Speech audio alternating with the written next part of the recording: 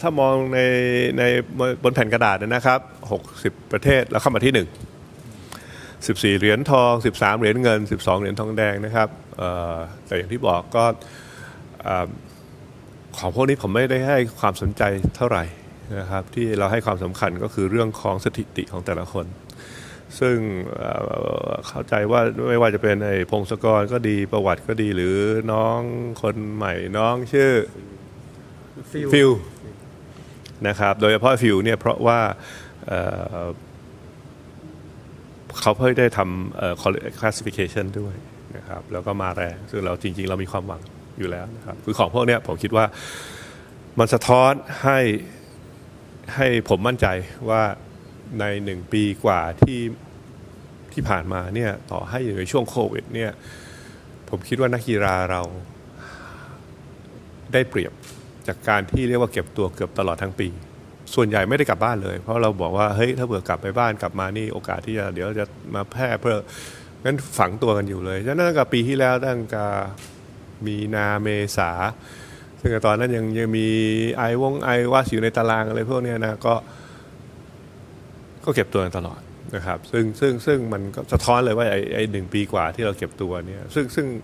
อยากจะบอกว่ามันเป็นเพราะว่าการบริหารจัดการของประเทศเราค่อนข้างดี แล้วนี่มันจะไปต่อยอดในความคิดของผมเองที่ว่าถ้าโตเกียวเกมได้จัดภายในปีนี้เนี่ยผมค่อนข้างจะมั่นใจว่ากีฬาของคนไทยไม่ว่าจะเป็นพาราลิมปิกก็ดีหรือโอลิมปิกคนไทยก็ดีเนี่ยเพราะผมเข้าใจว่านักกีฬาเราก็ได้เก็บตัวกันอย่างต่อเนื่องนักกีฬาคนปกติก็ได้เก็บตัวด้วยนะผมว่าสถานการณ์เราดีกว่าหลายประเทศต่างประเทศเยอะต่างประเทศเนี่ยมีมีหลากหลายที่ที่เรียกว่านักกีฬาเขาอาจจะเก่งกว่าเรา แต่ โอกาสที่จะเก็บตัวหรือความพร้อมของเขาเนี่ยน้อยกว่า ฉะนั้นผมเอาเข้าจริงๆเนี่ยผมว่าหนึ่งโซเคียวเกมที่จะเกิดขึ้น คิดว่านักกีฬาก็ดีหรือประเทศที่จะเข้าไปแข่งขันเนี่ยอาจจะน้อยลง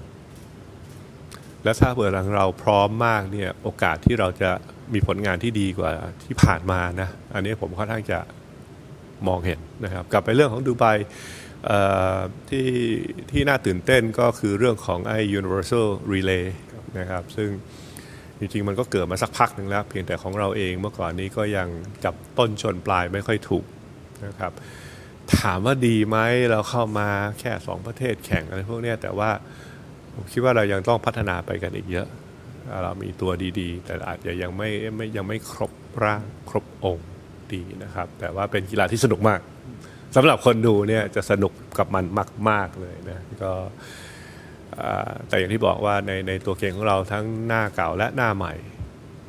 ล้วนแล้วแต่ทำลายสถิติผมเข้าใจว่า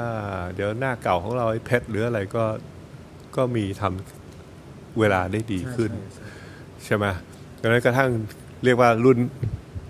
บุกเบิกก็ดีกับรุ่นใหม่สุดเลย พงศกรตอนนี้ไม่ใหม่แล้วนะตอนนี้เป็นไอ้ติวแล้ว ก็เลยผมคิดว่าเป็นอะไรที่เอ่อ ดีนะครับในในการพัฒนาต่อ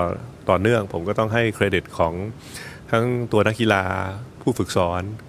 นะครับผู้ช่วยเหลือนักกีฬาและทุกสมาคม ที่เรียกว่ายังให้การสนับสนุน คือไม่ใช่ว่าช่วงโควิด แล้วก็ทิ้งหายตายจากกันไปนะทุกทุกประเภทกีฬาเราก็ดูแลกันดีอยู่ ก็ต้องขอขอบคุณตอนนี้กกทที่และกองทุนเนี่ยที่ให้ที่ให้ความสำคัญเรามาก เรื่องของงบการเก็บตัว สำคัญที่สุดก็คือหนึ่งบ็อกเชียซึ่งเป็นกีฬาหนึ่งของทางสมอง ซึ่งมีผลงานระดับโลกจริง ๆ อย่างต่อเนื่องเนี่ยตอนนี้เราก็มีอาคารฝึกซ้อมของเราเองที่ในกกทที่หัวหมาก ผมถือว่าอันนั้นเป็นเป็นอะไรที่ดีมากๆ ว่ากกทเห็นความสำคัญของกีฬานี้กีฬาคนพิการทางกกทที่โคราชก็ให้พื้นที่เลยที่สามนักกีฬาคนพิการส่วนใหญ่สามารถไปเก็บตัวได้ที่นั่น ซึ่งผมถือว่าดี นักกีฬาเองอาจจะมีบ่นบ้าง เพราะว่ามันไกล แต่โค้ชกับชอบบอกเออดีไม่ได้หนีไปเที่ยวไหนนะก็แล้วพอมีอยู่ที่เป็นที่บ้านของเราเองเนี่ยมันมันมันได้เต็มที่นะครับสุพรรณบุรีเราก็ยังมีที่เก็บตัว ฉะนั้นในความพร้อมเนี่ยทั้งทั้งทั้งผู้สนับสนุน มันกกทกองทุนนู่นนี่นั่นนะรวมถึงตัวนักกีฬารวมถึงตัวสมาคม รวมถึงผู้ฝึกสอนพวกเนี้ย มันมันค่อนข้างจะลงตัวนะครับ ก็เลยผมคิดว่าน่าจะเรามีน่าจะมีความหวังกับผลงานดีๆ ในในเกมโตเกียวเกมที่จะเกิดขึ้นเนี่ยครับ